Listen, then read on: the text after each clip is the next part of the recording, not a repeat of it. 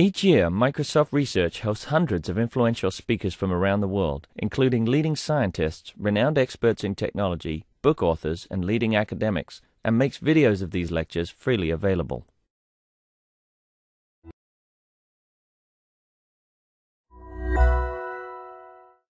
My pleasure to, to welcome uh, James George, who is, I, I was tempted to introduce him as computer scientist turned artist, but I suspect he was artist way before he was a computer scientist. um, so he's an artist who happened to have gotten his degree in computer science, I suspect Well is what yeah. happened. um, his art pieces, his installations, films, his mobile applications have been exhibited around the world, um, and I think he's going to show us some of that today. Um, James is currently an um, artist in residence at the Eyebeam um, Art and Technology Center. Um, he's also a fellow at the CMU Studio for Creative Inquiry, um, as well as a faculty member um, at NYU. Um, so, Yeah. take it away, James. Cool. Thanks. Thanks, Desney. Um, so the title of my talk and the plan was to talk about computational artists through a virtual lens, and I think that will clarify itself quickly. But then after all meeting you yesterday, uh, I figured I might throw in a little more personal data. So the second title for this talk has become a computational artist with a virtual camera. So it's these two things together, and this is going to get pretty meta, so be careful. Um, so my name is James George. I have a Twitter and a website, which I encourage you to contact me through. Um, and I have a hobby of playing with cameras in strange ways. And this is one of my uh, favorite pastimes. I'm about to set the free fall high score. Here comes. So this was uh, the first test of an application that I developed that was called Freefall High Score. And the, the, con- the concept of this application was who can drop their phone, or rather suspend their phone in freefall for as long as possible. Using the phone's accelerometer, I could detect the minute, minute it, it left the Earth's gravitational force, or rather joined with it, and start, start a timer as well as recording video. Those videos would then, you could tell the story and how long that you had, they had fallen, and tell us, and that would upload to YouTube where it was secretly tagged with that data, and then aggregated onto a website ranking the highest score, the highest score drops, um, in this kind of a, a high score page. So the, the concept here is to, you know, take something that we value more than we should, that maybe we don't even realize the amount that, of, of, that we've attached, that we're become attached to these devices, and then take an application through that language, the logic of writing applications, and call into question that attachment, and put someone in an uncomfortable situation, but still, you know, ticking the box of competition and play and creativity, and maybe instead of looking at your phone, look at the, the high buildings around you in New York City and think about how can I use that building to break this high score. So um, I was really excited about this application. You know, fervently developed it, submitted it to the App Store, and ret- was returned with this. and I mean, so Apple said in their policy uh, that they wanted people to make innovative applications that make people think about their lives in new ways. I thought I was doing that, but they uh, had a different opinion. So the application is available on Android, um, not as cleanly implemented as Apple. So, but that's that's how it goes. Um, but I thought that uh, to make up for this, I would do an event, like an installation. Like, how am I going to get this out into the world? How am I going to find people to set the high score? So I started a contest, and the contest was modeled after um, in high school you have an egg drop contest where if you to teach kids physics, how do you protect an egg? Well, I was going to do the same thing, except I would give people phones, and they could keep the phones if they could find a way to drop them off a building and set a high score. And I'd like to show you the winner of that competition. Hi, my name is Tim. Uh, this is my preserver. It's the iPod. Uh, there's a little hole in the bottom for the, the camera to peek out of, and uh, some daisies on top.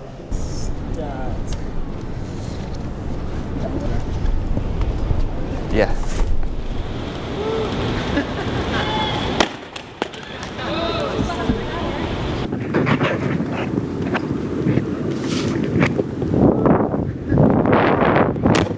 So the phone obviously survived, and he won the high score. It's 2.7 seconds.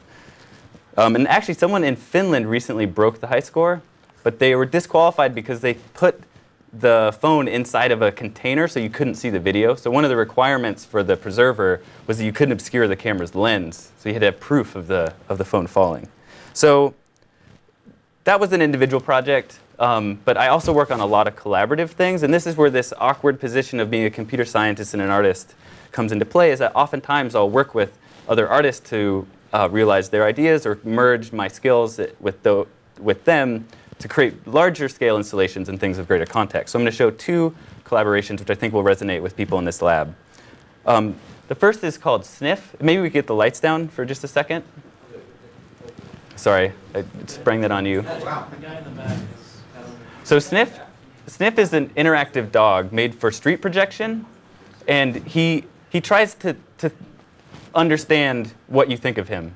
And in doing that, he tries to make sure that you are trying to think, what does this person think of me? So it's a way of instilling agency in a virtual creature, injected into public space in a way that makes you question your environment. People that aren't expecting to encounter art will encounter an artful experience and uh, you know, wonder who, who put this there? Who, why is this here? Why is this dog looking at me?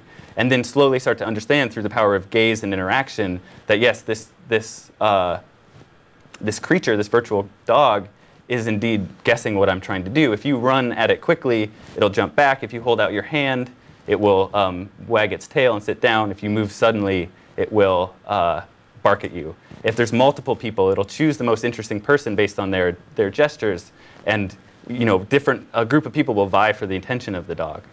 And the idea is, even though we know something is virtual, if you, if you instill something with animated qualities of a character, we can suspend disbelief and, and start to really imagine what does this creature think of me. Um, and this has been exhibited uh, several times. This was the first installation on a Brooklyn street corner.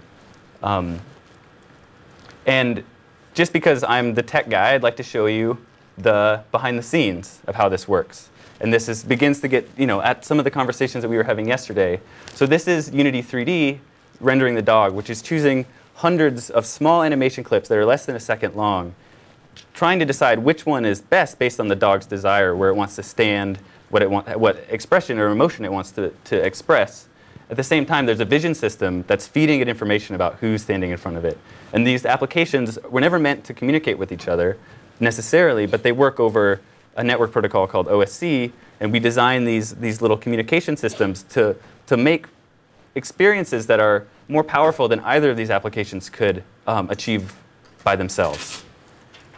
So that project led to another collaboration with um, a renowned video, uh, music video director and experimental artist named Chris Milk, um, where he had a concept for this, uh, this triptych of installations that interacts with you, and I directed the software for this. So I'll show you a video of him explaining how that works.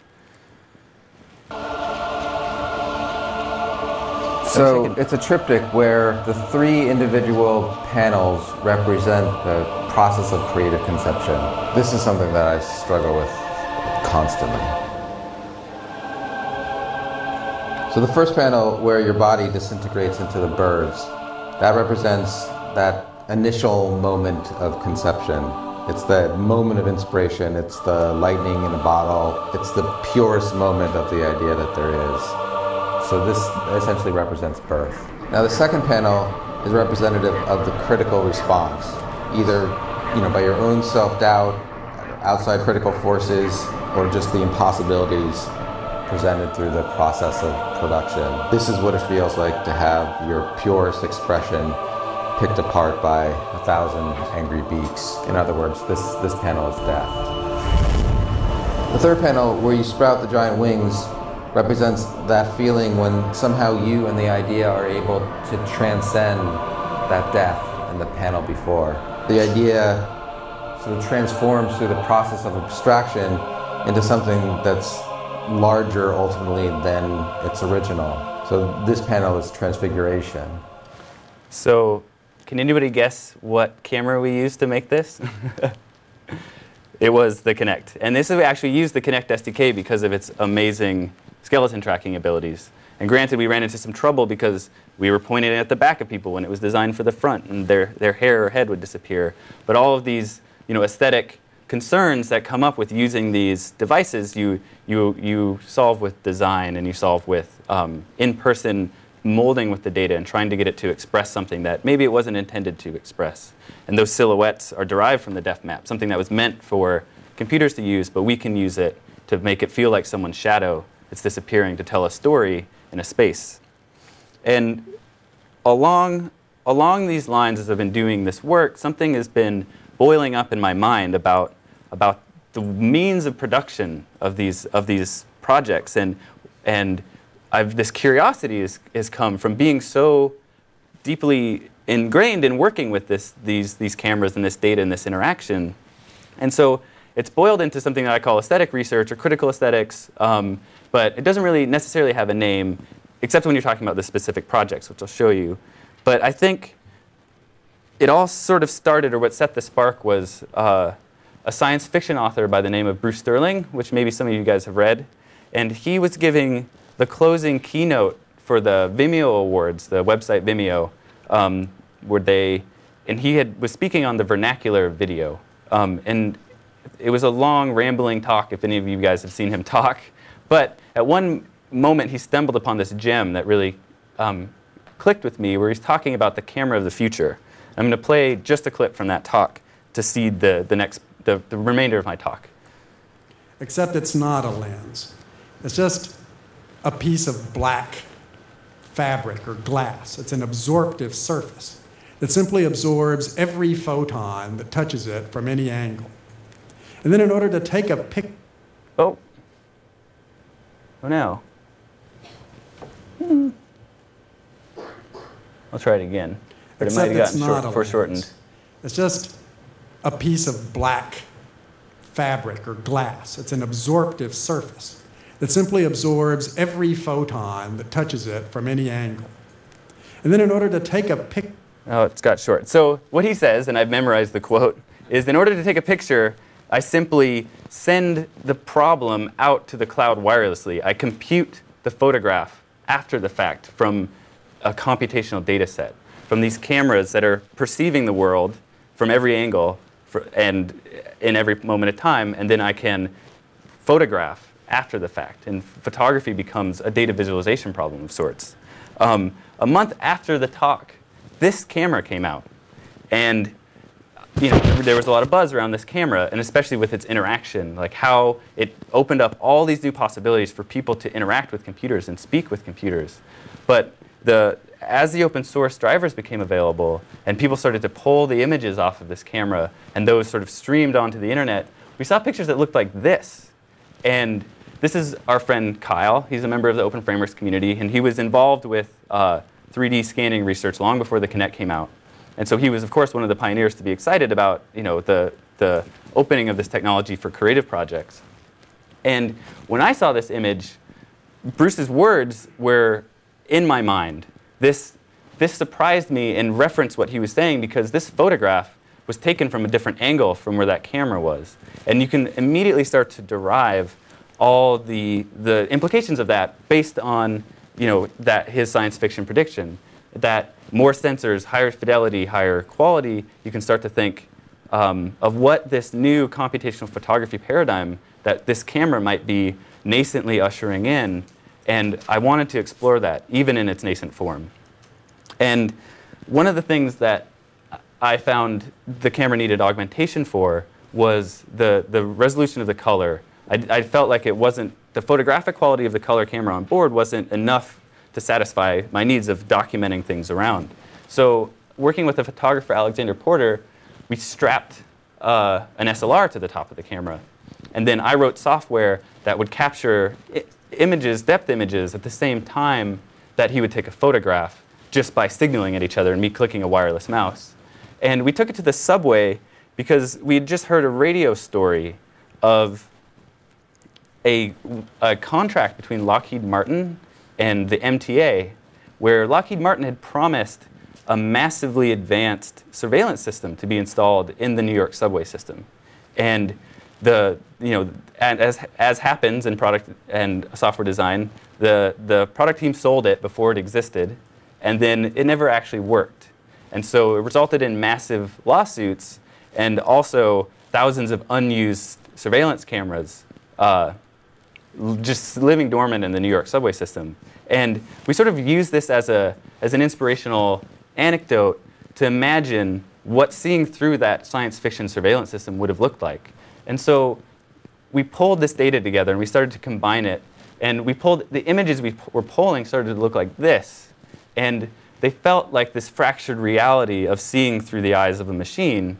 And it sparked imagination all over the place in people that were seeing it and thinking, you know, thinking about this type of thing, thinking about well, what sensing technology means. And as we start to have this greater uh, collaboration with computers or interaction with computers, trying to empathize and trying to understand what it means to be seen and what the limitations are. So we were playing with that aesthetic territory and, and connotating that type of um, concern. But we were also still interested in this idea of rephotography. And in this image set, we would generate pairs where each image was, each pairs of image was the same moment in time, but visualized with different data from different perspectives. Maybe easier to see if the lights were down just a little bit. But um, this is, you know, getting at this notion. But we also realized a very interesting problem in, in, our, our, in our naivety, that I couldn't just linearly scoot these images on top of one another. I couldn't just take the SLR image and just scoot it onto the depth map and have it line up. That there was actually a greater problem going on. And I, I, was really interested in continuing to refine the aesthetics of this, of this process and combining these cameras together. So again, the open source community sort of came to my, um, oh, came to my survival, and we, uh, we refined this process. And we built this. So this, the, I have these to, um, to pass around, actually, so you guys can check out. Um, we started talking to, to, Kyle, who was pictured earlier, and Elliot Woods, and various members who had um, done a lot of like stuff that Andy's doing, this calibration, combining different perspectives. And we opened up this whole problem space of how do we take a camera like this and combine it with, um, with this other camera to get at, a, at to continue to excavate this idea of depth cinema. Um, and so we designed these mounts so that we could combine them together, and all these interesting design problems started to come out of this one, this one notion, and pe other people started to get involved. Um, and so we eventually we created uh, the the RGBD toolkit, which is an open source platform for depth filmmakers to, be, to begin experimenting with this format. And we're also doing this while we're creating our projects. So it's this, it's this shared notion of artists as toolmakers and making uh, open, opening a process to the world as well as exploring it through your, th through your ideas. And I want to pause briefly while you pass those around and play for you the first um, pilot film of the project that we're working on now that I'm going to that I'm ultimately presenting, which is this idea of computational of artists um, seeing artists through a computational lens. Um, yeah, and I'll give a little more background on this. Uh, this project started at, at the Studio for Creative Inquiry. The, the calibration system was that that prototyping session was done as an artist in residency program where Golan had invited and the studio had invited many different people from the community to work together in person, and that's where we finally cracked the code on, on combining these cameras together. And so these in-person intense sessions are what create these sort of bursts of creativity and ingenuity. And I was so privileged to be a part of that because it's what led, has led to all this interesting research. I just want to add that was at the Art and Code Conference in October 2011, uh, which was a gathering to enable Kinect hacking and to teach Kinect hacking that was supported by Microsoft Research. Yeah, so gratefully indebted. And so my collaborator on the film I'm going to show is also a fellow at the studio, Jonathan Minard. And this is the pilot for the, the interactive documentary that we're producing that I'll explain later.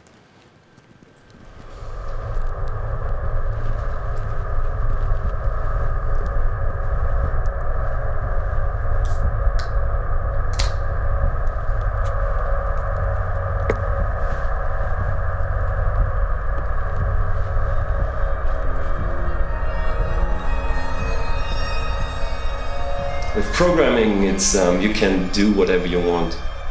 At, at some point, you, you um, I wouldn't say biblical, but it's like there's nothing in the beginning, or, or just as you have in history, it's just an empty space, and then you can start throwing things in there. Uh, what I want to do, I want to program like I can paint. So, like 10 years ago, I, I, I painted a lot, and I want to get the same feeling with code. There's so many things that you want to do that you could do by hand, and it would take you a long time. But if like programming just increases your capabilities, you know, almost exponentially. I addicted myself, and I'm highly addicted to programming. You can't stop me. Sometimes I forget to eat. Sometimes I forget to sleep. And I don't know, can you turn a pickle back into a cucumber? Probably not. So I'm here for life. You've, you've got me. It's terminal. This adding and taking away, that's kind of the design process now.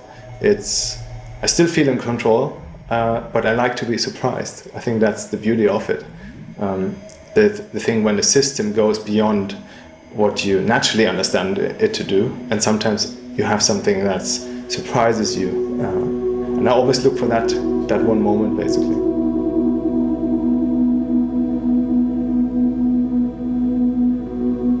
You get to a point in large visualizations where it's just actually too much data to look at as a flat image, and you have to do some sort of zooming or you know flying through navigation to get I don't know, to focus on some small part of it because just it's, I there's so many examples of this, like a huge hairball of connections and like it means nothing at some point. And he is basically explaining how the database works. And he said that there's one point here, and then you go around and then there's another audio sample there and another one there. And because this is closer, this is the one which is matched. it's like, and he explains everything like that. Is there an experience, a digital experience that you desire to have? Oh yes, teletransportation. Yeah, that's uh, that's yeah. There are many things. Um, yeah, there are, there are many things. There's some I shouldn't talk about. But yeah, teletransportation. It's uh, because you know, there was a time when they say, well, with video conferences, you, you won't need to meet, and but they don't work so well uh, you still need to to be with the people to really discuss and work on projects. You can do part of it by by by, um, by video conferences, but it has its limits. So it means I have to travel. I'm sick of traveling. I lose so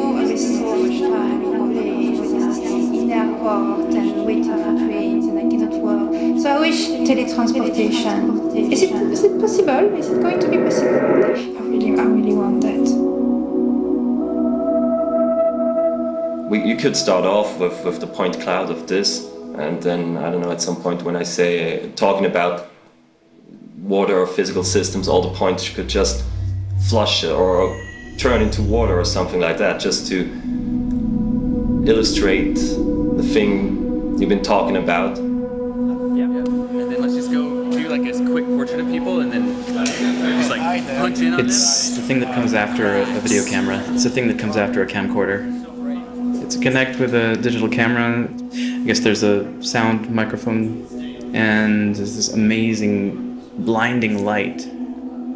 Because this footage is rendered in a 3D environment and you have to look at it from some perspective, you can browse anywhere in it. You can see just edges of it or the camera angle can change even though this camera's been completely static. There's just a lot of room to play. It'll, it's, it's an experimentation. You don't know what will work. There's no cinematic language that has evolved yet, so we're sort of at a point to define that in theory, you could build the whole universe inside your computer. You just don't have enough power, and then you'll never get there, and it would be boring to build the same thing all over again. But in theory, you could, and that's something I find kind of stunning.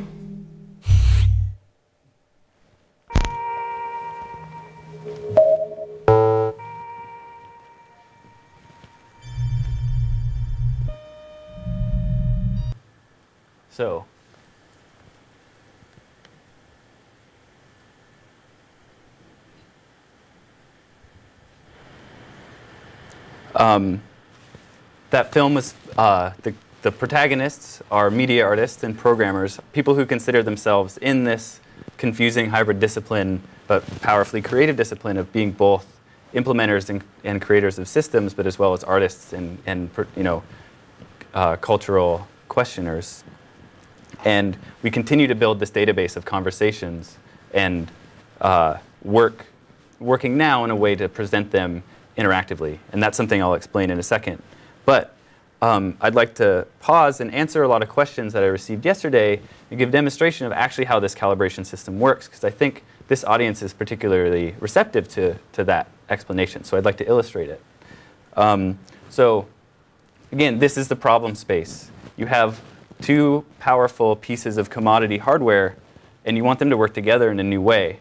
And the problem is that you have two lenses which have different angles. And it's a classic calibration problem where you want to be able to look, to understand the relationship between these two lenses so that you can create a mapping between the two different types of data and understand where they live in the world.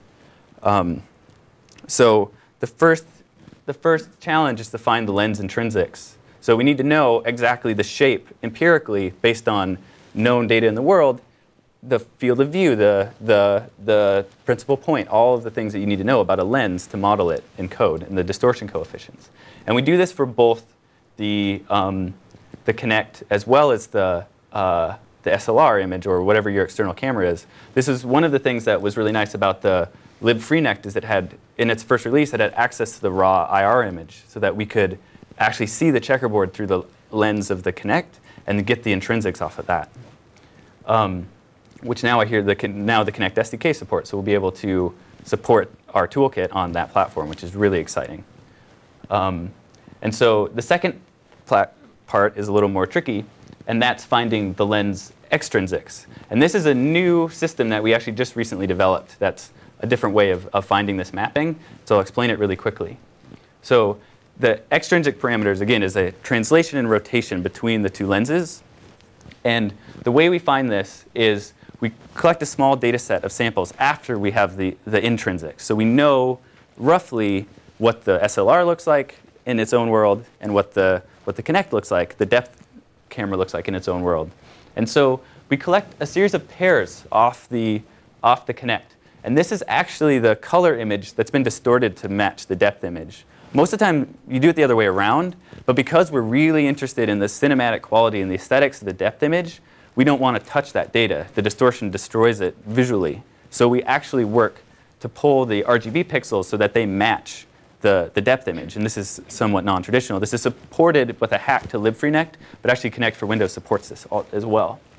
Um, and so given this, we actually get a really rich data set of checkerboard positions floating in 3D space, which is super powerful because you can take their, by inferring the checkerboard, the corners, you can then sample those points in the depth, in the depth image. And so you get a known floating data set with the, um, of known points. At the same time, you take co, co you know, simultaneous coincident uh, images with the SLR and load those into the, into the software. And so then you have the same exact rich data set of 2D, 2D image points. And for people who've done calibration, this is a simple solve PnP where you have object points and image points, and you can find uh, extrinsic relationship rotation translation. So this is how we then understand the mapping of those two lenses. Um, and I'll actually demonstrate this working in code. And this is something I hacked together last night, so apologies if it's a little, um, a little rough.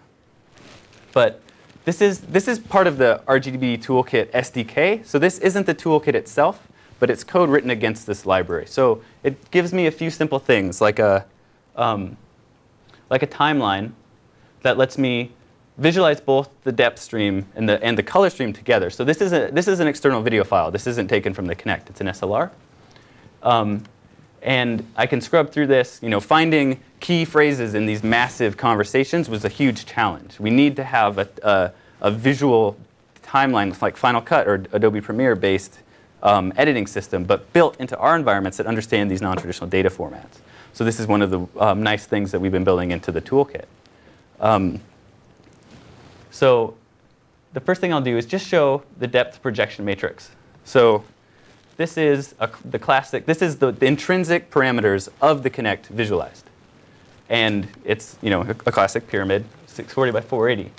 Inside of that, we can render our project our points and draw a wireframe of our subject. Um, she's thinking critically. She might even be thinking about whether she wants to teleport right now. I think, and we can play this they back. say, well, with video conferences, you, you won't need to meet, and but they don't work so well. Uh, you still need to to be with the people to really discuss and work on projects. You can do part of it by by by um, by video conferences, but So now we have a big part of our data, which is you know, a, a really nicely uh, surface reconstruction. We can do some hole filling here, which we have stuff for, but we have our form, and, it, and we have it mapped to this video. But now we need to actually combine our known extrinsics, and we do that using projective texturing. So um, here's a visualization of the RGB camera in relationship to the Kinect, and this is pretty good, right? There's our Kinect, there's our SLR. You can kind of imagine the lens is floating a little bit out in front. So that's about, that looks about right. If you look at where they land on the figure, it's about right. So then if we actually visualize our texture being projected here, you can see it coming off of this frustum. And then we can just project that onto our form. And now we have uh, it has its a richly textured So it means uh, I have to SLR. travel. I'm sick of traveling. I lose so I waste so much time in planes and in airport and waiting for trains, and I cannot work. So I wish teletransportation. Is it is it possible? Is it going to be possible one day? I really I really want that. And so you start to see the, the camera language here. Like I, I have interactive control over viewing this person talk, and I want to punch in at certain points. I'm curious about which angle looks more interesting. I pull off axis to see the profile or look for someone in the eye, even if they looked away from the camera. And this type of interaction has become extremely fascinating, and we really feel like we're excavating a new type of cinematic language. Um, so I hope that was el- elucidating.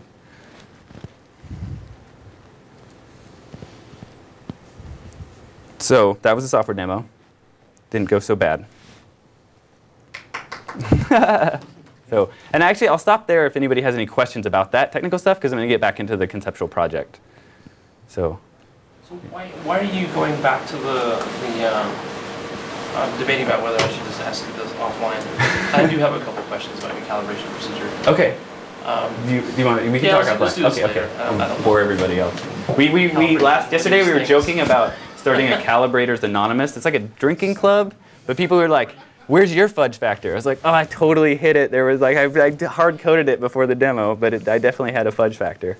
So yeah, there's always you know it's a it's a it's a voodoo. It feels like as close to like electronics programming as I've ever gotten writing software. Just like never is right, but um, but yeah, I'd love to discuss more about how it works.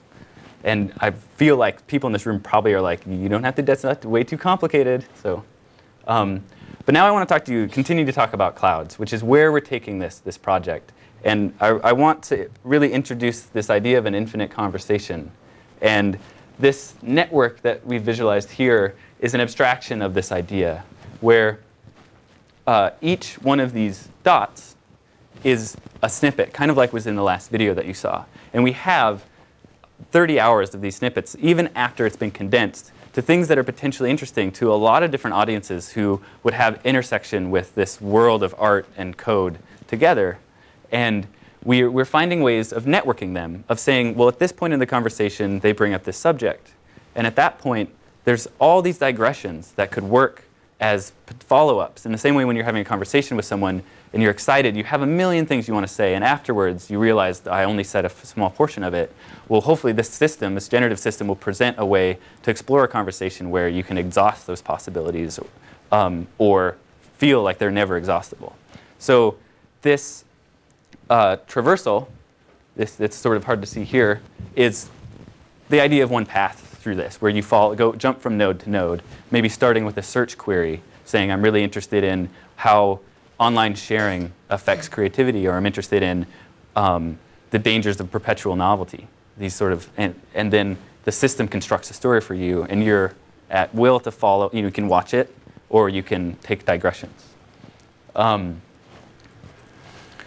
so, and at the moment, and this is where it gets uh, pitchy, as we have a Kickstarter campaign that we launched maybe 48 hours ago um, to help fund this, this project. And you know, I appeal to you on a personal level. If you think it's interesting, we would love your support. And uh, you know, there's some cool, cool rewards that we have that I'll show you.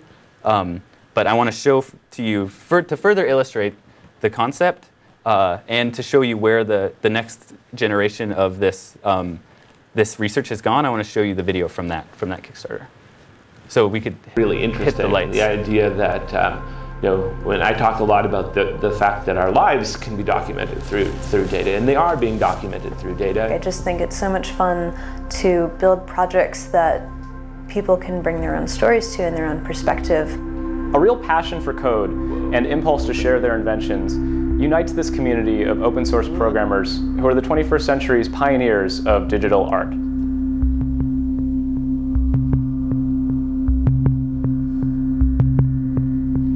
So you may be wondering what's up with the way this video looks. Well, it's filmed using a format we've been experimenting with called RGBD. It's video, but with another dimension, and it offers new potential for filmmaking.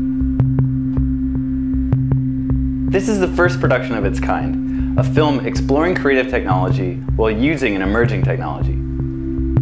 So Microsoft released a video game controller called the Xbox Kinect.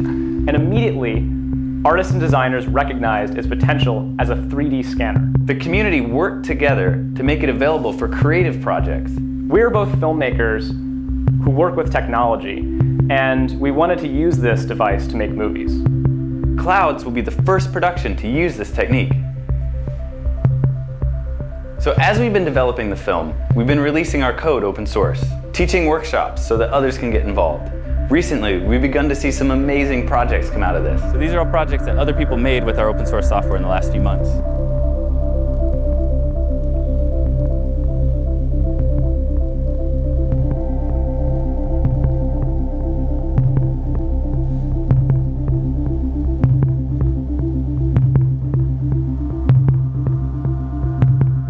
It's almost like people across the planet are dreaming together. There's this imagination that's coming about by people interacting with one another and creating this totally different thought space. We have over 20 hours of edited conversations captured in RGBD. And we want to give you access to all of it, but in a way that can be explored interactively, like experiencing a documentary in a video game environment. I'm interested in the in the underlying aesthetic of the data. I'm interested in how networks manifest themselves at kind of multi-scaled levels. Uh, I'm interested in emergent properties. I'm interested in our brain's ability to to recognize pattern. I'm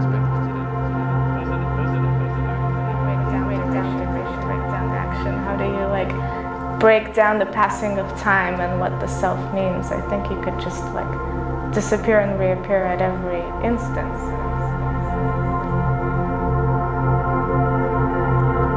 In this phase of the project, we're building an application to present the interviews as an infinite conversation. We imagine this working in real time, allowing the viewer to control the camera, flying through space, choosing what conceptual threads to follow or who to watch.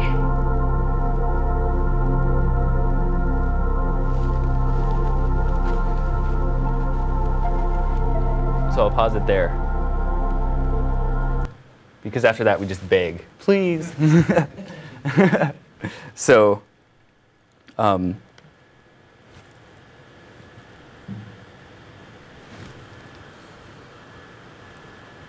really in. Oh.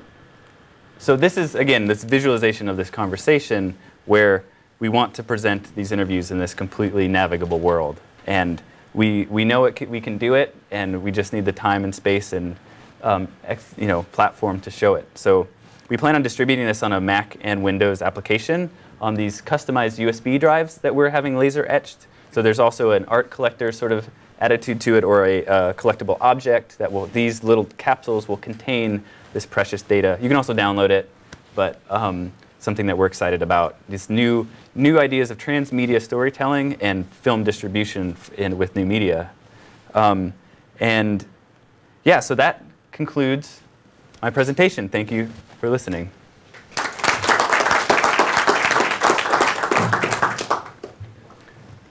Uh, really interesting work. Uh, I have a couple of questions actually. First one is one of the most interesting aspects of this RGBD video are actually completely novel ways of thinking about transitions that I see in your, your work.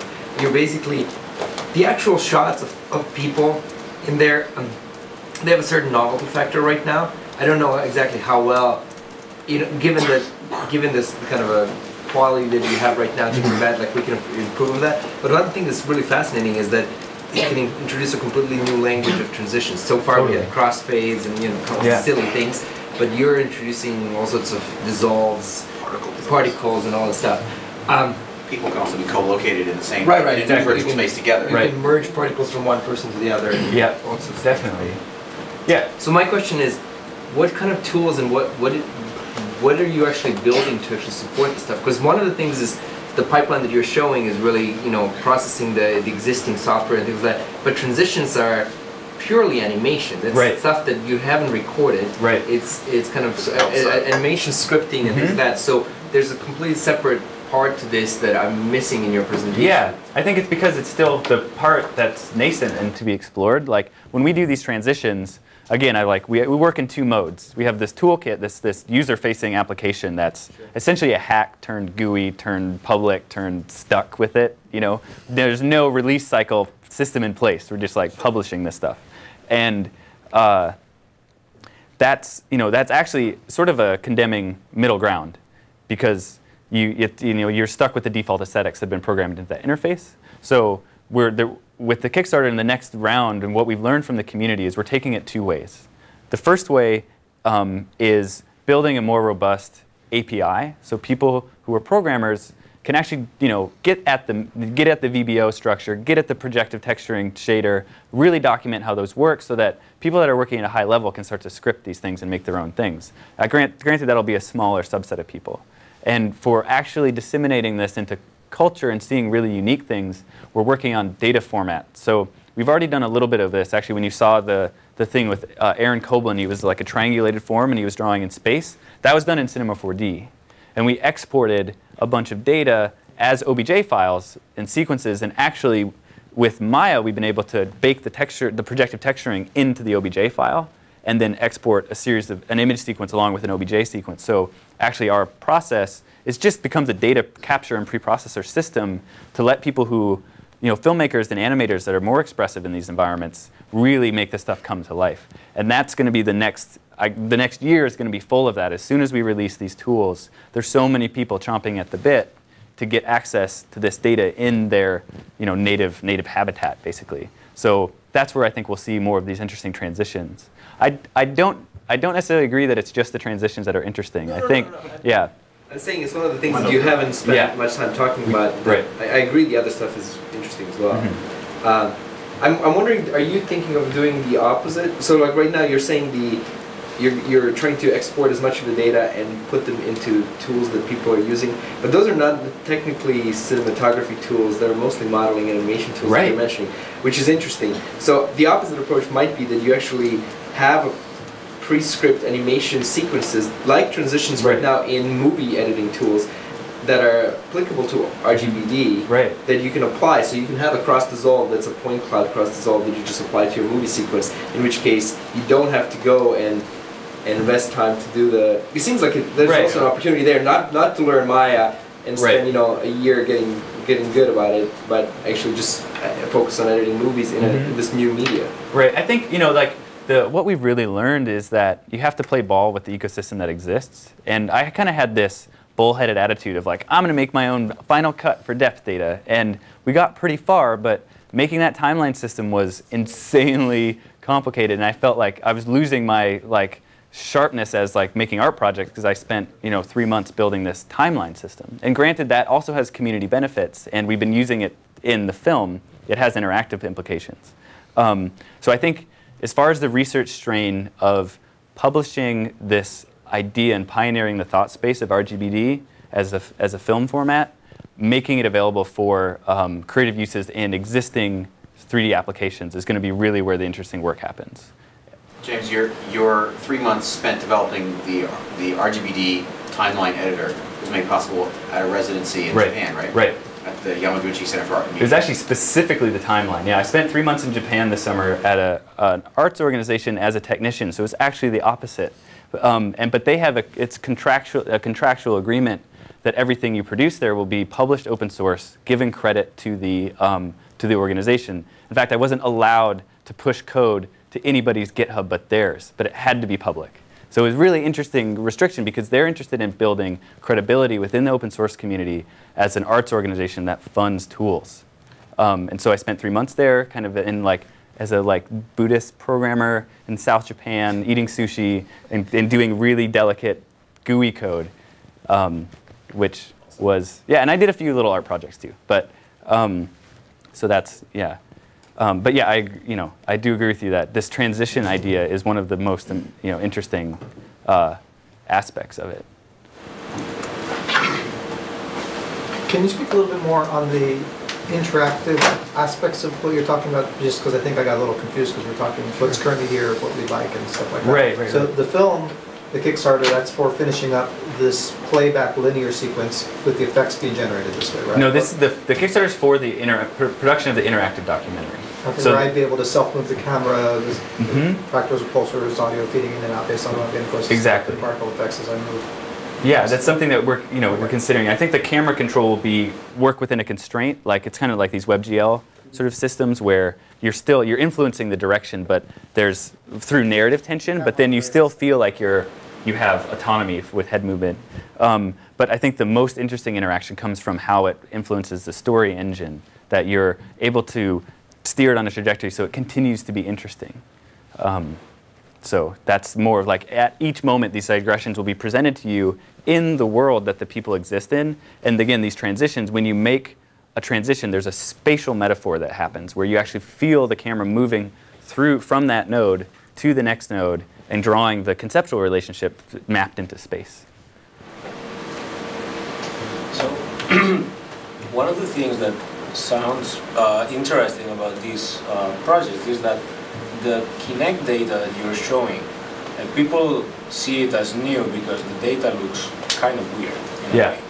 So, do you think that if there, if instead of having Kinect data that is pretty bad in general, Yeah. if you had perfect reconstruction, maybe people would not be as interested I think if we had perfect reconstruction, it'd be so new that it would be way more mind blowing. but I here's my response to that is really interesting. I've, I've thought about this a lot because in the way it's we we have this term embrace the glitch, um, which means like we're kind of actually celebrating the the nascent aesthetic of this and SLR. right. So So I'm, but then we also I'm embrace thinking the about this too. It's like it feels like you're Embrace the fudge. you have a you have a you're working on you're working out the aesthetics of the RGBD camera, but then you did this other thing where you added this SLR where it's now like perfect video. Just Right. I wonder if you could comment about that because it feels like you you went back on hedged. Well, Yeah, you embrace the glitch, but you don't want to look bad.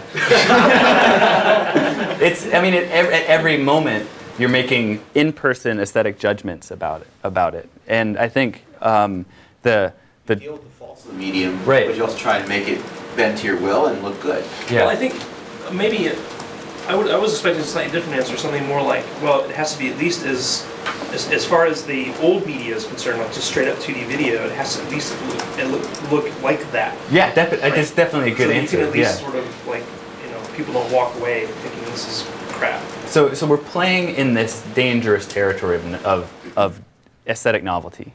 And even in our own research, we look back at what we made three months ago and we go, oh, that's terrible. Yet remembering when we had that breakthrough, we're like, this is amazing. So we're constantly like uh, exhausting ourselves with this because it's this research in aesthetic novelty.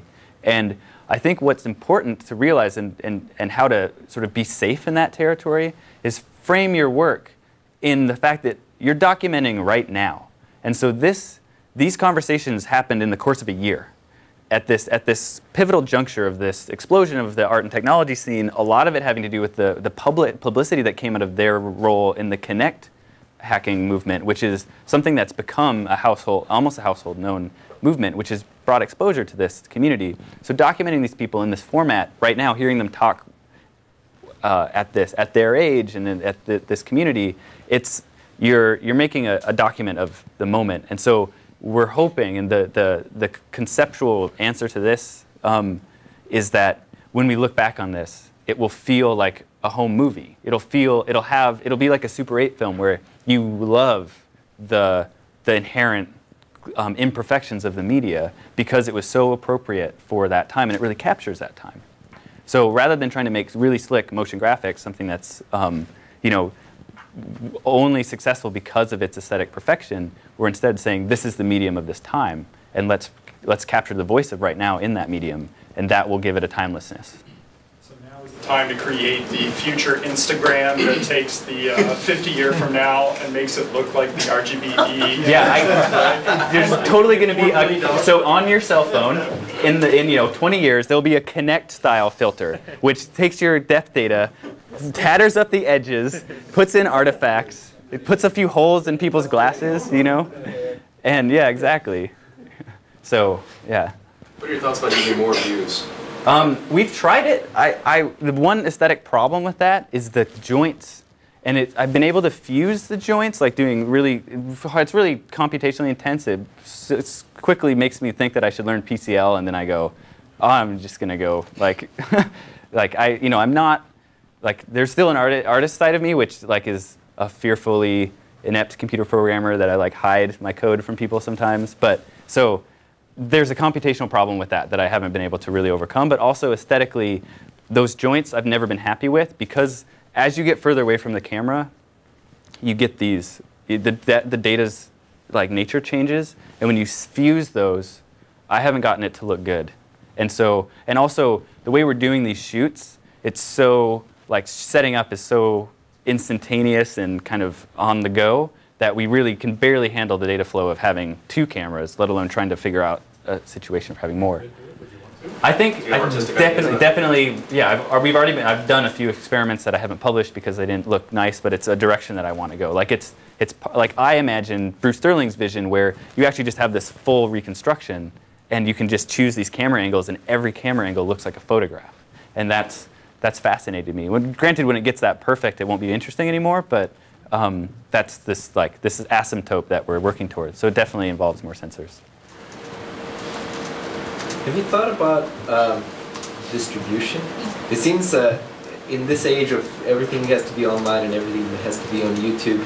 Uh, the, pro- the big problem is this: these these are super data intensive, and I, I admire your way of distributing them on USB sticks. I think that's a, in some sense, it's kind of a little bit retro right now, but it, it's completely it's completely necessary because there's no real good ways of distributing it. So have you thought about like dissemination beyond kind of the yeah? Let me. I want to show you a demo that we we collaborated with um, a WebGL programmer, and we actually came up with a really hacked little format to to slip an RGB a D stream into a WebM video, and we made a um, a zoetrope out of our friend.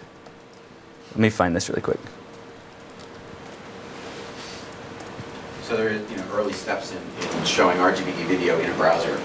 Yeah, I mean, I mean, ideally, in, in, theory, in, in principle, it'd be great if the cloud's generative documentary could do in a browser. That'd be great. I think There's yeah. A lot of data to push. Um, it's, it's it's the fact that like you know our the WebGL is still nascent enough that it um,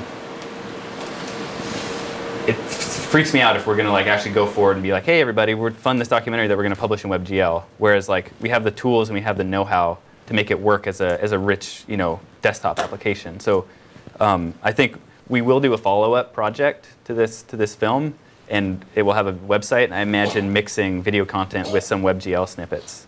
Um, but that would be an ideal format for distribution. So one of the reasons why you would do it in WebGL is because you want to make it interactive in some sense. And you want to distribute the three-dimensional thing easily through the internet.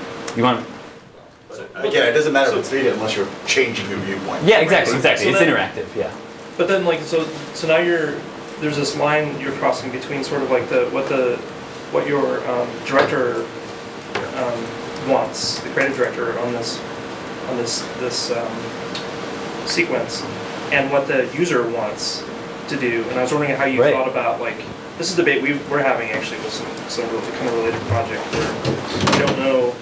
Like there's there's some effort to say, oh well, let's just render the thing to a regular movie, you know, you know, regular sequence and slap it on YouTube, be done with it. Right. but then you know, to- totally, totally taking away the, the interactive component. Um, and then the question is, well, as a creative director, you might not want any interaction. Right. So, for clouds in particular, what do you envision? What is the user going to be doing? I mean, think, I think the, the important thing is like, as a creative director, you're an interaction designer, and you, you present a system that's constrained but has freedom within it, and so that the person feels like they're completing the system by being inside of it. So what that means is like, as it's an intuitive interaction, so moving the mouse um, will cause the camera to, to move in an intuitive way.